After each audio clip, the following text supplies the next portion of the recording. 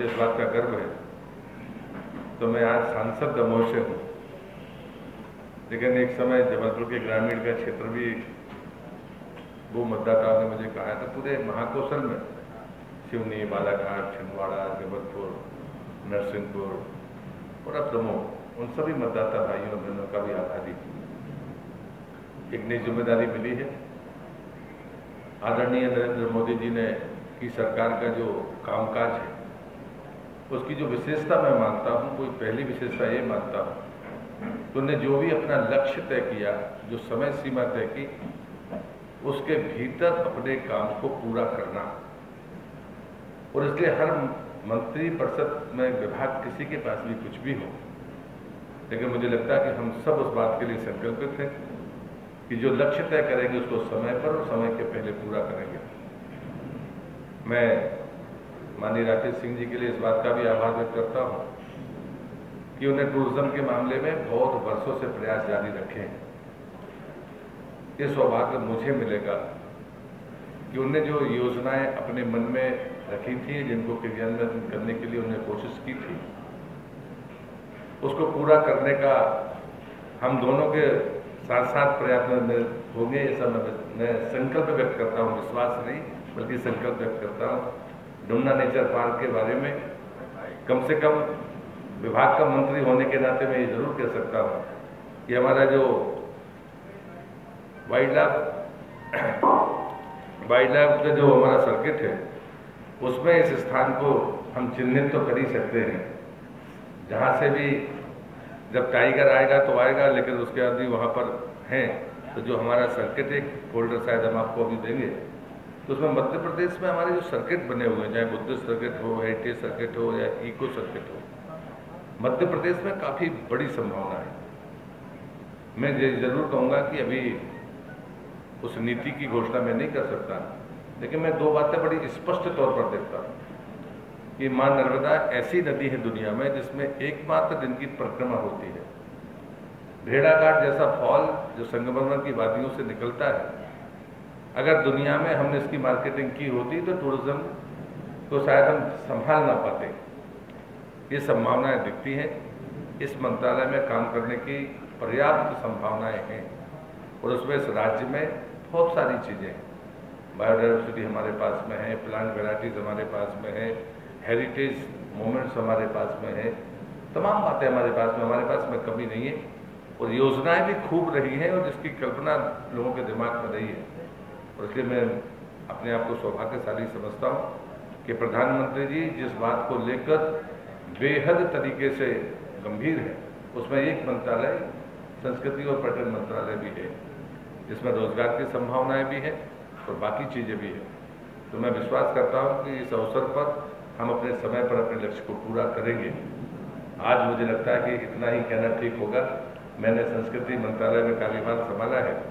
मंगलवार को जाकर हम सब वहाँ पर जाकर पर्यटन मंत्रालय का मैं कार्यभार संभालूँगा। लेकिन कामकाज पहले दिन से ही प्रारंभ हुआ। हम अपनी जन्मभूमि में अपने गुरु, गुरुदेव परम पूज्य शिवाजी का आशीर्वाद लेकर फिर से इस काम में जुटेंगे। जबलपुर के मित्रों से ज़रूर मेरा आग्रह है कि ये सिर्फ़ प्रेस कॉन्फ्रेंस नहीं है। एडवाइजरी बोर्ड की तरह हम आपसे भी सलाह लेते रहेंगे और हम अपने लक्ष्य को प्राप्त करेंगे, इतना मैं आपसे ज़रूर कह सकता हूँ। आप सबका बहुत बहुत धन्यवाद। देखिए, हम पहले दिन से कह रहे हैं, मध्य प्रदेश की कांग्रेस की सरकार की कोई रुचि जनता की समस्याओं के समाधान में नहीं है। ये सरकार, ये मानकर ही आई है कि ये अल्प समय के लिए आई है। और इसलिए ये सरकार पहले दिन से ही इसने मध्य प्रदेश में तबादला उद्योग की स्थापना कर दी। और सीधे तौर पर हम कहें तो इस सरकार का एजेंडा ही केवल और केवल तबादला उद्योग को स्थापित करके उसको पनपा के कुछ लोगों का आर्थिक हितों को हितों को मज़बूत करना है। और उस दिशा में ये सरकार ताकत से काम कर रही है। दुर्भाग्यजनक बात यह है कि पूरे प्रदेश और देश में इसकी लगातार आलोचना होने के बावजूद भी उनका ये क्रम लगातार जारी है। कल भी उन्होंने बड़ी संख्या में तबादले किए हैं। सरकारों को जब आवश्यक होता है, तब वो तबादले करती हैं, उसकी एक स्थापित व्यवस्था है। लेकिन आप अपने अधिकारों का दुरुपयोग करें। पूरे प्रदेश के अधिकारियों के मन पर एक दबाव बनाकर रखें, मानसिक दबाव बनाकर रखें। कि यदि आप जनता के हितों के अनुरूप नहीं, यदि आप कांग्रेस के अनुरूप नहीं चलेंगे तो आपका तबादला होगा। और उन तबादलों को करने में ऐसे अनेकों आर्थिक हित जुड़े हुए हैं, जिनके प्रमाण पत्रकार मित्रों ने ही बातचीत के दौरान मुझे दिए या कहे हैं। लेकिन हम इसकी आलोचना करते हैं, और ये दुर्भाग्यपूर्ण है। लगातार होने वाले तबादलों के कारण मध्य प्रदेश में एक और जहाँ काम प्रभावित हो रहा है वहीं उसके साथ साथ लोगों के मन में, अधिकारियों, कर्मचारियों के मन में एक भय का वातावरण भी बना है। और इसलिए ये इस तरह के वातावरण में मध्य प्रदेश में विकास के और जनहित के कार्य नहीं हो सकते। एक बड़ा सवाल है सर कि इस पूरे ट्रांसफ़र में बड़ी मात्रा में लेन देन भी किया जा रहा है क्या? क्योंकि निगरानी पकड़ के जिस तरीके से पड़े तो कहा जा रहा था कि उद्योग में जो पैसा आया है, वो उनके पास कलेक्ट किया गया है। हमने जब ये कहा कि इसको तबादला उद्योग बना दिया तो उसका मतलब ही सीधा सीधा यही है। मैं तो कह रहा हूँ उसके पीछे आर्थिक जुड़े हुए और इसलिए ये सरकार इस तरह से काम कर रही है। भाई साहब हॉर्स ट्रेडिंग को लेकर के 25 करोड़ रुपए प्लस मंत्रालय ऐसे आरोप लगा रहे हैं कांग्रेस और उनके देखिए कांग्रेस भयभीत है अपने अंतर विरोधों के कारण। ये डरी हुई है। इनको लगता है इनके भीतर की जो गुटबाजी और अंतर विरोध है, उसके कारण इनकी सरकार को हमेशा खतरा बना रहने वाला है। भारतीय जनता पार्टी ने हमने कहा है कि हम आपकी सरकार नहीं गिरा रहे हैं। आपकी सरकार जो गिरेगी, आपके अपने अंतर विरोधों के कारण गिरेगी, गुटबाजियों के कारण गिरेगी। और इसीलिए कमलनाथ जी बार बार ये बात कहलवाने की कोशिश कर रहे हैं, जो अनर्गल है और जिसका कोई आधार नहीं आपका अनुमान क्या कहता है सर? आने वाले छह महीनों में क्या मध्य प्रदेश चुनाव देख सकता है? नहीं हम कोई समय सीमा में इसको नहीं बांधना चाहते हमने कहा है कि हम सरकार को नहीं गिरा रहे हैं लेकिन इनके अंतर विरोधों के कारण ये सरकार गिरेगी तो उसमें कुछ नहीं कर सकते। वो आरोप लगा रहे कंटिन्यू कि आप उनकी विधायकों को खरीद करो मैंने अभी उत्तर दे दिया ऐसी बात का अभी अभी उत्तर दिया। उनका क्या होगा? जो। विधायक बन गए सांसद को कौन सी सजा जो सांसद विधायक से सांसद बन गए। उनके बारे में अभी निर्णय जल्दी ही पार्टी तय कर लेगी कि क्या होना है।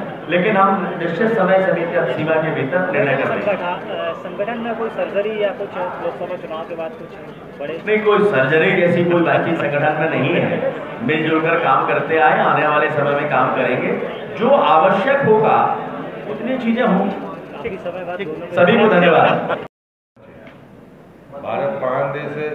भारत की संस्कृति महान है।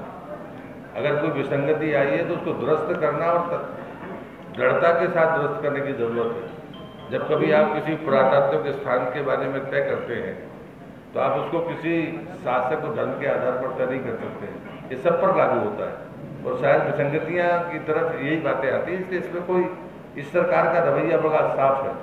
हमारी सांस्कृतिक धरोहरों के प्रति हम दृढ़ता के साथ अपने आगे बढ़ेंगे।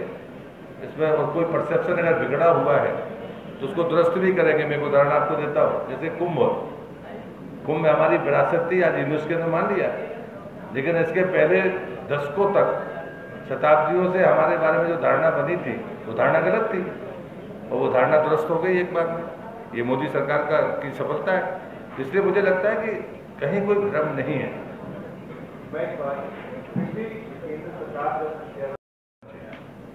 भारत महान देश है, भारत की संस्कृति महान है। अगर कोई विसंगति आई है तो उसको दुरुस्त करना और दृढ़ता के साथ दुरुस्त करने की ज़रूरत है। जब कभी आप किसी पुरातात्विक स्थान के बारे में तय करते हैं तो आप उसको किसी शासक और धर्म के आधार पर तय नहीं कर सकते। ये सब पर लागू होता है। और शायद विसंगतियाँ की तरफ़ यही बातें आती हैं, इसलिए इसमें कोई इस सरकार का रवैया बड़ा साफ़ है। हमारी सांस्कृतिक धरोहरों के प्रति हम दृढ़ता के साथ अपने आगे बढ़ेंगे। इसमें और कोई परसेप्शन अगर बिगड़ा हुआ है तो उसको दुरुस्त भी करेंगे। मैं उदाहरण आपको देता हूँ, जैसे कुंभ। कुंभ में हमारी विरासत थी, आज यूनेस्को ने मान लिया। लेकिन इसके पहले दशकों तक, शताब्दियों से हमारे बारे में जो धारणा बनी थी, वो धारणा गलत थी। और वो धारणा दुरुस्त हो गई एक बार में। ये मोदी सरकार का, की सफलता है। इसलिए मुझे लगता है कि कहीं कोई भ्रम नहीं है। देखिए दमोह साहित्य, इतिहास, वहाँ के पुरातत्व की दृष्टि से बहुत महत्वपूर्ण स्थान है और इसलिए उसमें अनेक संभावनाएँ हैं। वहाँ छठी सदी के अनेक आपको स्थान और मूर्तियाँ मिल जाएँगी, जो शायद किसी ज़िले में बहुत आसानी से मिलती नहीं है। साहित्य के क्षेत्र में संत जुड़ीराम 300 वर्ष पुराने निर्भर धारा के लोग हैं, ऐसे अनेक लोग हैं। और इसलिए मुझे लगता है कि वहाँ संभावनाएँ हैं, उनको देखेंगे?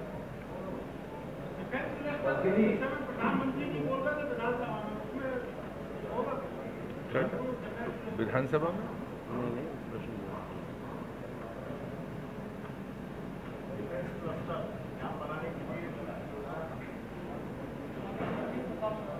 मेरे, मेरे विभाग से पूछेंगे तो अच्छा रहेगा। मैं बता दूँगा अभी बताऊँगा। आपने बोला कि यहाँ पर एक